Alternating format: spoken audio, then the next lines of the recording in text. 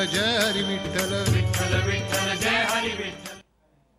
बुलेटिनच्या सुरुवातीला बातमी आहे आळंदीतून आळंदीतून ज्ञानेश्वर महाराजांच्या पालखी सोहळ्याची ड्रोनद्वारे दृश्य टिपण्यात आली आहेत. पालखी पंढरपूरकडे जातानाची नयनरम्य दृश्य फक्त साम टीव्हीच्या माध्यमातून आपण पाहू शकताय. डोळ्याची पारणं फेडणारी ही दृश्य फक्त साम टीव्हीच्या प्रेक्षकांसाठी. ड्रोनच्या माध्यमातून काढलेली ही दृश्य आहेत.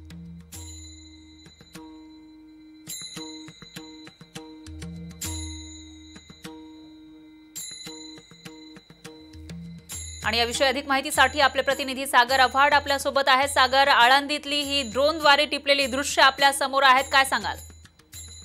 नक्कीच खरं आपण जर बघितलं तर आळंदी अलंकापुरी ही विठुरायाच्या नाम घोषात दुमदुमलेली असते. मात्र यावर्षी वारीचं वारी जी आहे ती वारकऱ्यांना करता आली नाही. कोरोनाचं सावत होतं. त्यामुळं हे नयनरम्य दृश्य जे आहे ते सामच्या प्रेक्षकांसाठी ड्रोन मधून टिपलेले आहेत.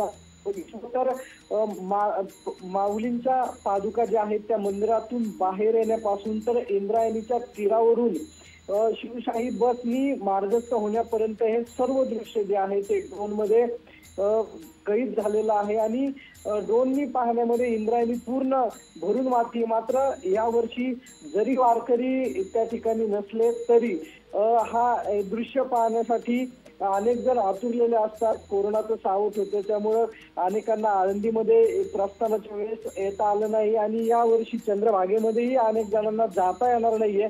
त्यामुळे ही आळंदीतील दृश्य अनेकांना या ठिकाणाहूनच माऊलीचे दर्शन त्यांना घेता येत आहेत. आणि हे दृश्य खास सामटीच्या प्रेक्षकांसाठी आहेत. खरा निश्चितच सागर खास साम टीव्हीच्या प्रेक्षकांसाठी ही दृश्य ते बघू शकतायत कारण आळंदीला जाता येत नाहीये. मात्र सामच्या माध्यमातून ते माऊलींचं दर्शन घेऊ शकतायत. बस या ठिकाणी निघालेली आपण बघतोय. मात्र त्याचबरोबर काही लोकांनी गर्दी केल्याचंही या दृश्यामध्ये आपल्याला पाहायला मिळत नक्कीच फरा ज्यावेळेस माऊलींच्या पादुका ज्या आहेत आजू घरातून बाहेर येत होत्या त्याच वेळेस बसच्या बाहेर दर्शनासाठी मोठी गर्दी जी आहे ती झाली होती. पोलिसांनी ही गर्दी बाजूला केली आणि नंतर ज्ञानोबा माऊली तुकाराम म्हणत जय घोष झाला आणि त्या ठिकाणाहून बस जी आहे ती मार्गस्थ झाली आणि पंढरपूरच्या दिशेने या बसने प्रस्थान केलं.